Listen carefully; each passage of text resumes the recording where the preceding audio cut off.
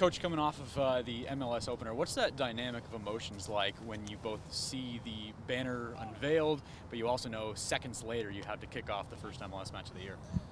Yeah, it's it, sometimes it's challenging.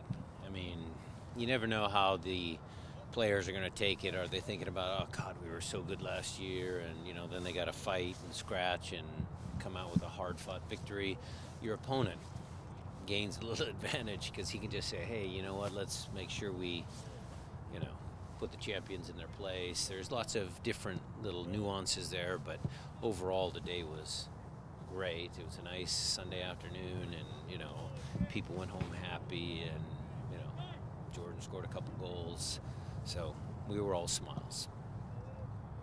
From a process perspective, just that coming back from a deficit 1-0, just in the growth and the process, how important was that for the team? I get the win, but just from the team, how important was that in the process? Uh, well, it's always important because of the win, the points, and all that. Like you said, the mental side of that is again, I'm trying to continue to push the narrative, which it's the truth. That team doesn't, they don't quit, they never give up.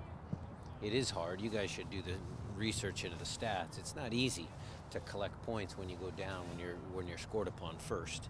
And I think we have to be really high up there as far as what league other teams do around the league. And it's something I'm very proud of. It's good. And so how do you keep that messaging going? How do you get the young kids to learn, hey, you know what, we don't give up here. You, know, you might be down a couple goals, but we're still going to play. That's that's important. We've talked about you know certain miscommunications that have happened in the back line. How can you uh, quickly develop that back line so the chemistry begins to be there? Are you talking about that goal?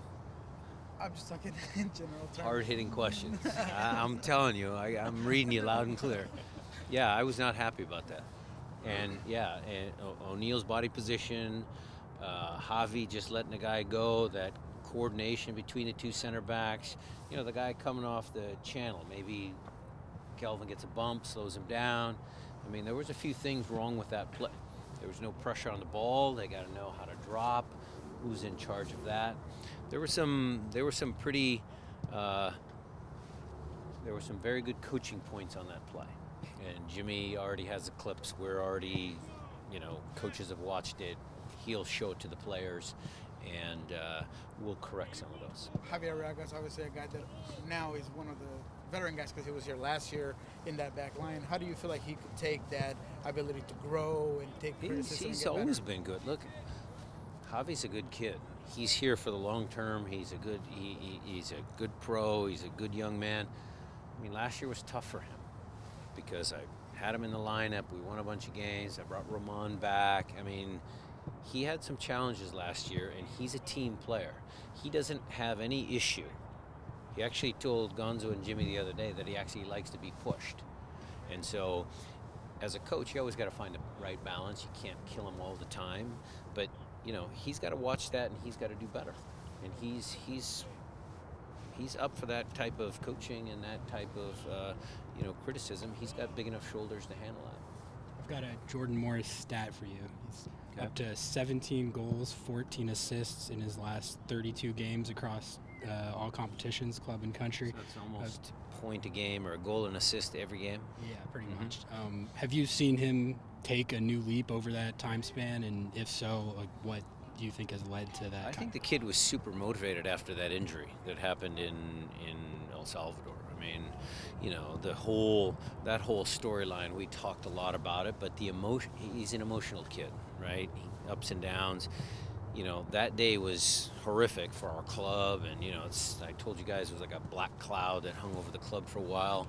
He had to get himself out of that. He was the one, not me. I couldn't tell him anything. He had to do it. And judging by your statistical analysis, he's done pretty well at getting himself out of a hole and coming back and playing up to his potential. And the 14 assists is kind of what jumped out at me. Is that, uh, do you think that's a sign that this switch to the wing has maybe unlocked a part of his game that maybe he wouldn't have tapped into if he was just up top? Or? Yeah, I mean, look, if you go back all the way to his college days, you guys can again look at that. Did he have more goals and assists than maybe some other forwards? I, I, I don't know. Since he's been with us, since I've been around, I think he's always had that ability to play out here. You know, when he first arrived, his rookie season, he scored 12 goals, something like that. I don't know how many assists he had, but he's always such an important player in our attack because of his ability to get behind teams that he ends up in those positions where assists naturally come. So, you know, if he was a maybe not such a fast guy and he came into the box late, you know, maybe he might maybe he might have a few more goals. He's the guy that's leading the charge. He's the one that's out front, passing the ball into the penalty box. I think that's just natural. Nico Lodeiro and Gustav Svensson back out there. Uh, what, what would be their status here? I think I said after the game, Gustav is in full, and Nico is in almost everything of full. And that one's just still TBD. We got to make sure that uh, everybody gets cleared.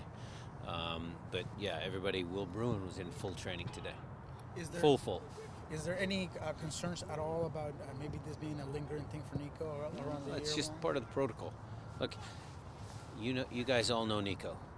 The kid wants to play. He, he he'd be training extra if we didn't have to hold him back. We just got to follow protocol. So, you know, when he's ready, he's gonna. He, he- he's get. He's he's very close. When did he first tell you that he was feeling pain in his hamstring? Was that off season or last season? Or He, he had some hamstring issues last season already. So, you know, we're, we're working to correct it. He, he's feeling better. I mean, you guys can watch him play. He's so happy to be back on the field. I mean, so easy to tell.